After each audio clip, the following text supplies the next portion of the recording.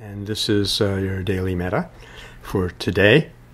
Uh, gosh, so many things have been uh, started up already. We could be talking about a lot of different things.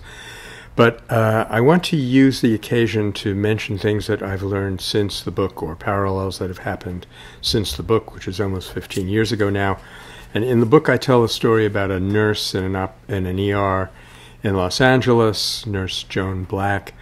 Uh, a deranged woman runs into the ER with a gun, and uh, Nurse Black walks over to her, puts her hand on the hand with the gun, keeps it down, and starts saying to her things like, "This, you're going to be all right. We all have these difficulties. I've had some too."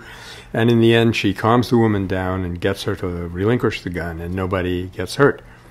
And uh, very recently, there was a much more dramatic case of the same thing with a woman named Antoinette Tuff, who was the accountant, the bookkeeper in a very large school in Decatur, uh, Georgia, and uh, there were 825 students in the school. A young guy comes in, he's bipolar, office medicine, and this time he doesn't have an, an automatic, a little revolver like the woman in the ER. He has an assault rifle with a backpack full of ammunition, and he says everybody's going to die.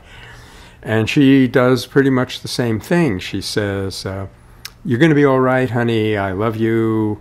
I have some troubles too. Do you want to hear about my divorce? And in the end, she saves 825 children. So it's exactly the same dynamic. And in both cases, we see several things in common. For one, these women, without being consciously aware of it, are using a pattern that was developed in the ancient world. You have Greek and Roman writers thousands of years ago telling you how to buck up a person who's depressed or talk down a person who's agitated, and they go through certain steps, and these women are following those steps. And I outline some of them in Search.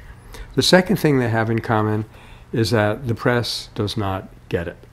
In the ca- case of Joan Black, they got her to say, that was the stupidest thing I ever did, whereas in reality it was the most heroic.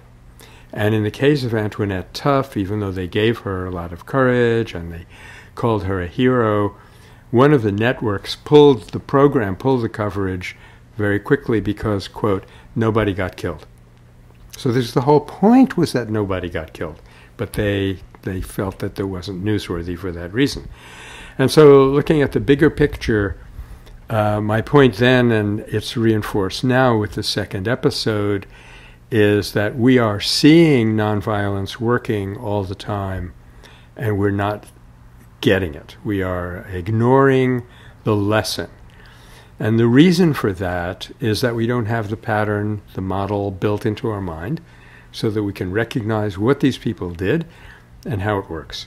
So we say, whew, she was lucky, she was dumb, that was a fluke, and we write it off and we go back to the same old, same old.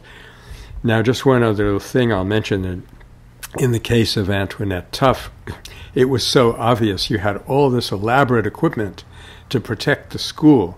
You had this uh, electric gate that you, you, wouldn't let people in, so the the killer, would-be killer, walked right in, right behind a teacher uh, and the uh, SWAT team.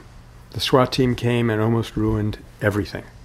So in both cases, you have a an elaborate mechanical based system that failed and a human being that succeeded. And we need somehow to rebuild our model of the world and who we are so that we can understand what that human potential is and develop it. Until tomorrow, then. If you like what you're hearing, you are invited to join the experiment.